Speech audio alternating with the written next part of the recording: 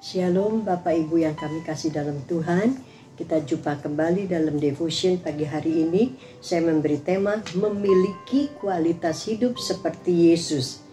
Diambil dari Roma 8 ayat 29 Sebab semua orang yang dipilihnya dari semula Mereka juga ditentukannya dari semula Untuk menjadi serupa dengan gambaran anaknya supaya ia anaknya itu menjadi yang sulung di antara banyak saudara. Allah menuntut anak-anak Tuhan menghasilkan kualitas hidup seperti sesuai dengan standar Yesus. Kita dipilih, ditentukannya dari semula untuk menjadi serupa seperti Yesus. Persiapan dan kriteria yang harus dimiliki anak-anak Tuhan untuk masuk dalam kerajaan surga ada tiga poin. Satu, anak-anak Tuhan memiliki kualitas hidup seperti Yesus. Matius 5 ayat 48, karena itu hendaklah kamu sempurna, sama seperti Bapamu yang di surga adalah sempurna. 1 Petrus 1 ayat 15, tetapi hendaklah kamu menjadi kudus di dalam seluruh hidupmu, sama seperti Dia yang kudus yang telah memanggil kamu seperti ada yang tertulis yaitu kuduslah kamu sebab aku kudus. Untuk memiliki kualitas seperti Yesus harus mengalami proses demi proses selama hidup di dalam dunia ini.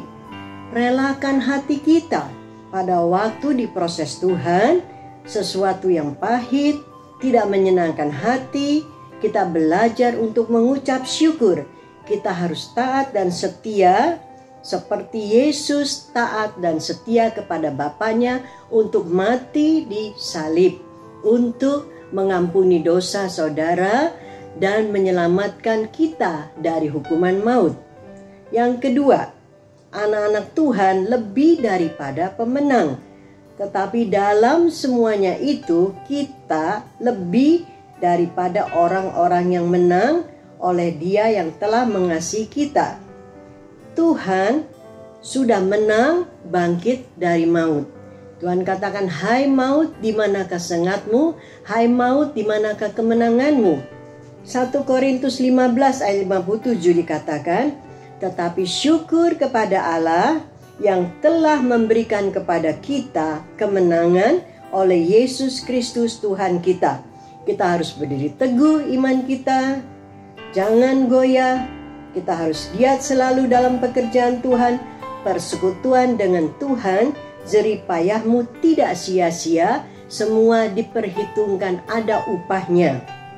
Yang ketiga, anak-anak Tuhan sebagai pahlawan Mazmur 103 ayat 20, Pujilah Tuhan, hai malaikat-malaikatnya, hai pahlawan-pahlawan perkasa yang melaksanakan firman-Nya dengan mendengarkan suara firman-Nya.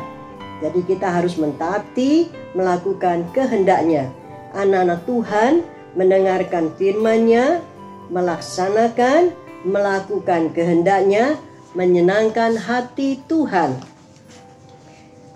Mempunyai sikap hati yang tulus, penuh kasih, pengabdian, kekudusan, ini menuntut memisahkan diri dari dunia yang dan semakin mendekat kepada Allah. Menolak kejahatan, melakukan pekerjaan yang baik bagi semua orang mempersembahkan tubuh kita kepada Allah sebagai rumah Roh Kudus. Hidupnya tidak boleh sama lagi dengan orang-orang di luar Tuhan. Mempersembahkan hidup kita sebagai persembahan yang kudus untuk memuliakan Allah, menyenangkan hati Allah, melakukan kehendaknya, hidup dalam rencananya, sehingga kita akan diproses untuk menyerupai seperti Yesus. Sekian firman Tuhan kita berdoa. Bapak yang baik, terima kasih buat firman-Mu pada hari ini. Kami mengucap syukur, biarlah kuasa roh kudus membentuk hati kami dengan lembut, Kami rela untuk dibentuk diproses oleh Tuhan untuk menjadi serupa dengan gambaran anaknya supaya kami memiliki karakter Kristus. Nama Tuhan dipermuliakan. Terima kasih Bapa. Dalam nama Yesus kami berdoa dan mengucap syukur. Haleluya, amin. Tuhan memberkati.